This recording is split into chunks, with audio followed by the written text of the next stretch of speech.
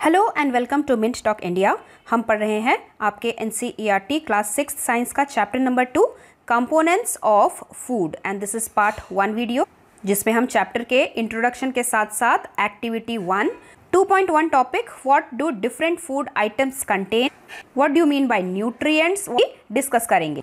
The link for other parts of this chapter will be available in the description box or you can see the playlist of class 6 science in Mintalk India channel.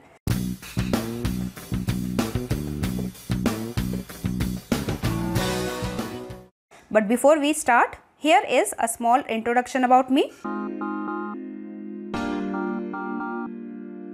So let start सबसे पहले हमारे chapter के नाम का meaning हम पढ़ रहे हैं फ़ूड उनके कंपोनेंट्स फ़ूड तो आपको पता ही है खाना जो हम खाते हैं ज़िंदगी के लिए ज़िंदा रहने के लिए कंपोनेंट्स क्या होता है? Components are the things by which the food is made up of कुछ बच्चे तो बोलेंगे फ़ूड तो इंग्रेडिएंट से ही बनता है, जैसे कि हमने हमारे चैप्टर वन में पढ़ा था।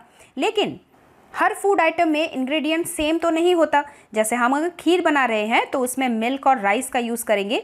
लेकिन अगर बिरयानी बनाएँगे, उसमें तो मिल्क नहीं देंगे। So component is something else something different कुछ ऐसी चीज़ जिसकी हमारे बॉडी को बहुत ज़्यादा ज़रूरत होता है।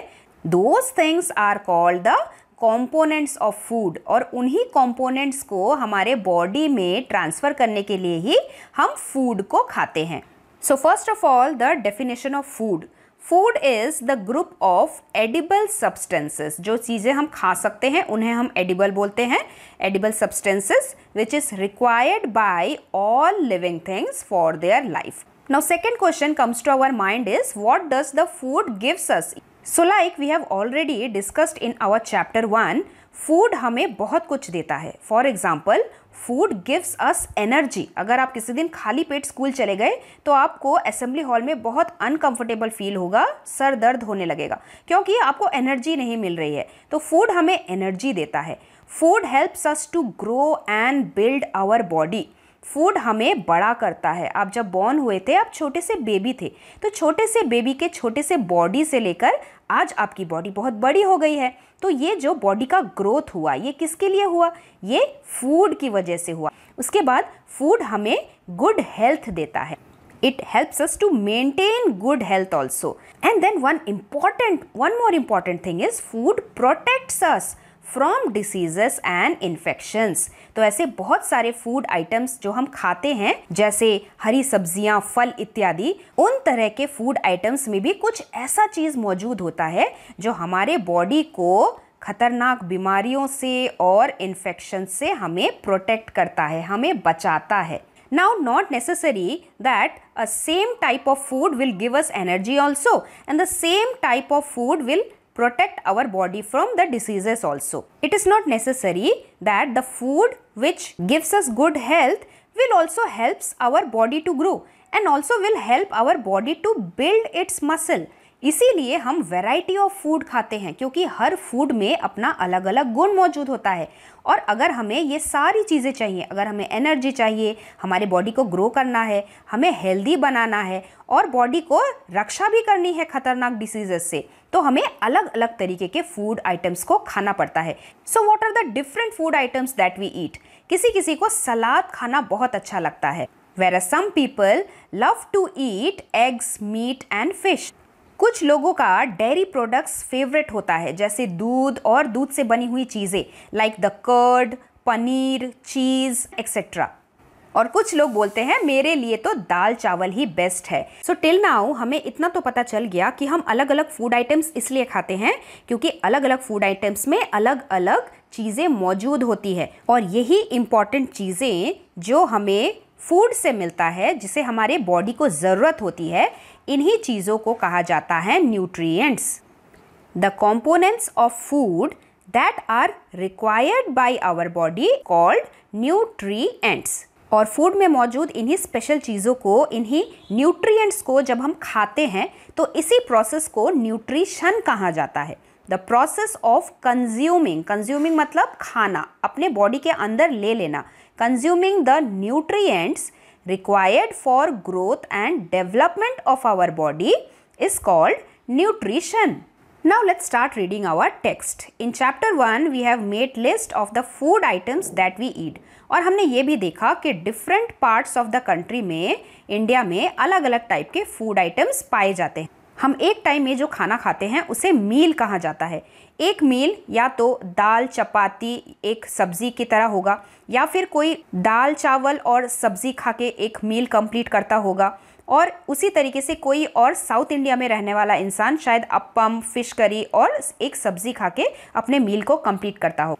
तो हमारे प्लेट में, हमारे खाने में एक आइटम वो रहता है जो हमेशा ग्रेन से बना हुआ होता है। Our meal will usually have at least one item which is made up of some kind of grain जैसे इस केस में व्हीट ग्रेन से बनी हुई ये रोटी है।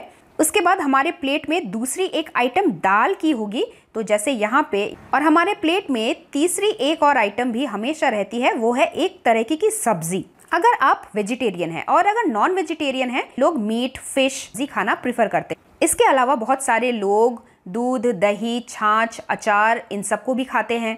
दो आर द डेयरी प्रोडक्ट्स और डेयरी प्रोडक्ट्स के अलावा बहुत सारे लोग सलाद भी खाते हैं। Those are the raw vegetables तो प्लेट में इतनी वैरायटी होने का रीज़न यही है कि हर एक फ़ूड आइटम में फ़ूड आइटम के कंपोनेंट सेम नहीं होते। शायद ग्रेन में वो एक कंपोनेंट होगा जो सब्ज़ी में नहीं होगा, इसीलिए हम सब्ज़ी को भी खाते हैं। और शायद दाल में कुछ ऐसा कंपोनेंट होगा जो दाल में ही ज़्यादा होगा, रोटी में थोड़ा कम होगा।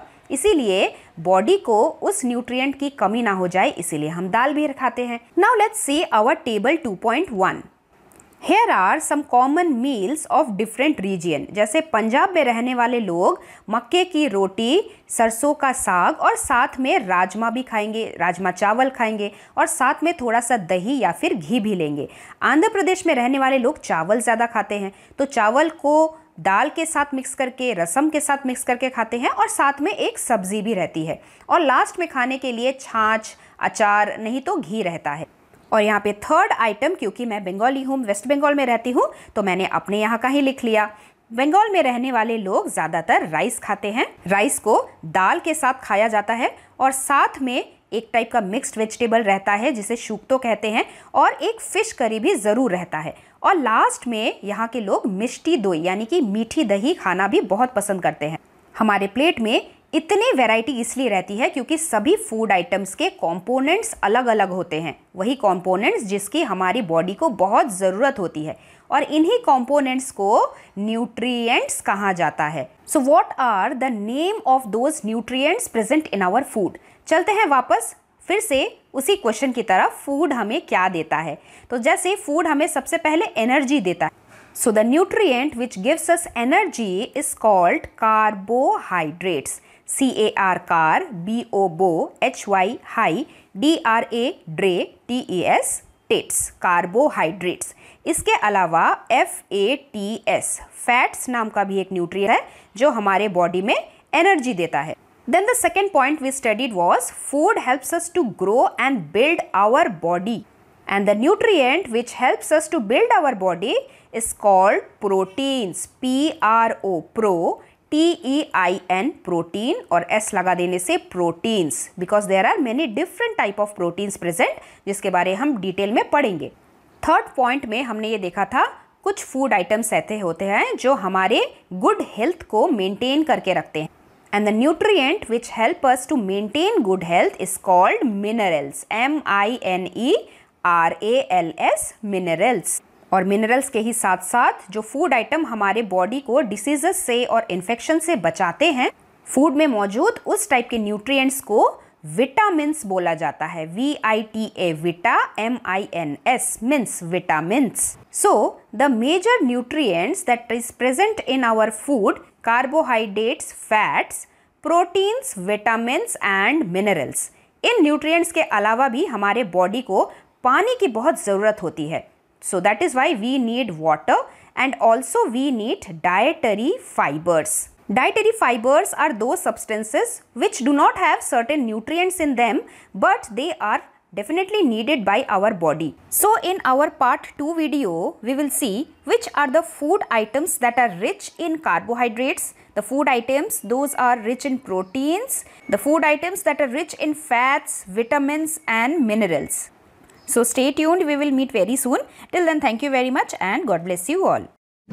Thanks for watching and do like, share, subscribe our channel Mint Talk India for more upcoming videos.